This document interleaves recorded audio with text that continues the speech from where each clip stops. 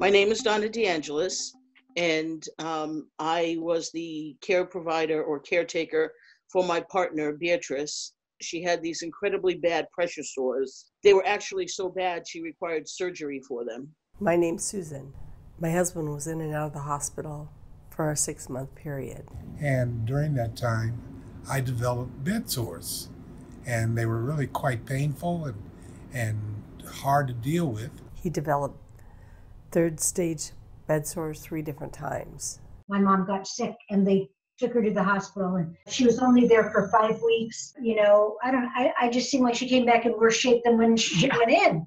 I just didn't think that she had made any progress. So I brought her home and with the help of my daughter, Heather, we proceeded to take care of her. What's up, world? I'm back. Eric Patrick Thomas broadcasting live.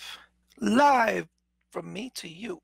So the pressure wound started out of nowhere. I mean, you know, we do a skin check in the morning, skin check at night. Roll me over at night, just got back in bed. Boom. Hole. There's a hole.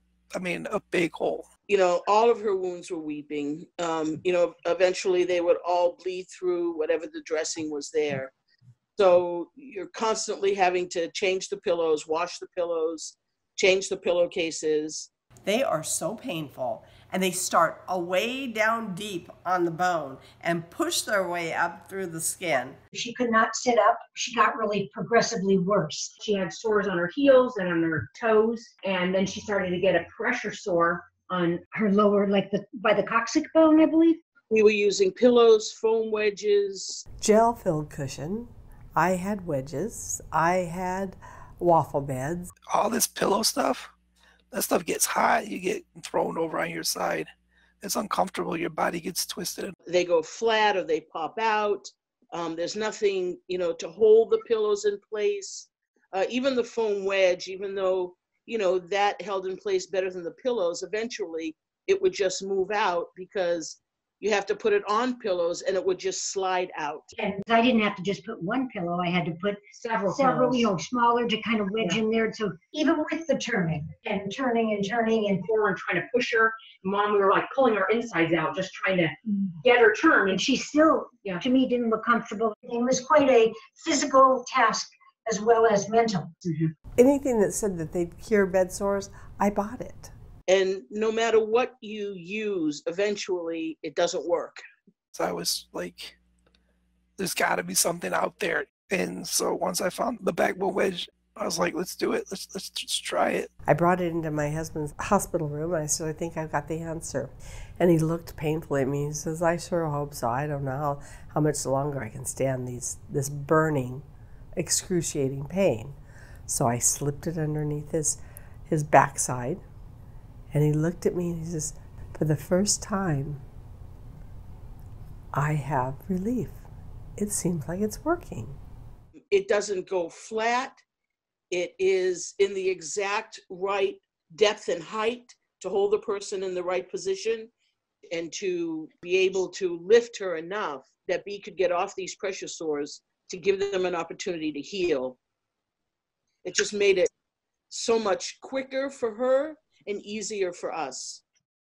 And when we got it and we, you know, we started using it and we were like, wow, what a difference. Mm-hmm. Um, just easier to turn. And then we no longer had pressure mm-hmm. sores, the heel sores, everything went away. It was just easier to do. And yeah. it was just more consistent. Yeah, absolutely. No more pillowgami, no guessing. You also will have less spasms when you're on it properly because your body is not like twisted and things like that. Yeah, way more comfortable. When I went back in the hospital, I took it there. They were like, "Wow, this is amazing." They used it. Like all the staff used the backbone wedge while I was there. I'm now back in the hospital, and uh, uh, you know, I, I, thank God every day for my uh, my cushion, my my rescue cushion, and I'm currently using right now in this hospital. As you can see, and because it's curved and not flat like a pillow, we could actually put the wedge around the wound. So there was actually nothing on the wound, unlike with a pillow. It's definitely worth it. And unlike pillows, you know, it's something that you'll have forever. You know, you only have to buy it once. Even when we had to put her bed up, you know, to eat, the wedge all stayed in place. I have not used anything else since the wedge. There's no reason to use the other wedges at all. Sometimes when it's under me, uh, you you forget, and now it's just natural, and it's amazing. This is how it's put on. You don't even have to change your bed.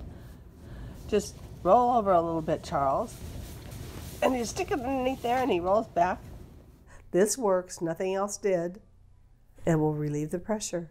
Once you take the pressure off, the circulation comes back. You get it clean, you take care of it, those wounds will go away. They will close up. It was just simple. Yeah. Not only for the patient, but for the caregivers. Yeah, absolutely. And, and I will say this, it was a godsend because you could see the results on a daily basis. Comfort and protection and health, really. You know, Bee's wounds got very badly infected. And I think if we had had that wedge a long time ago, they would not have been in the condition that they were in. So that's a big deal. It's a game changer. That's for sure. I mean, when you design something for the purpose, it works. It's all good. Let's save some lives. The Bedsore Rescue Cushion is designed and patented by Jewel Nursing Solutions. If you're caring for someone who needs pressure relief, don't wait. Get your Bedsore Rescue Cushion today. For home purchases, go to bedsorescue.com. And for more clinical information and facility pricing, go to jewelnursingsolutions.com.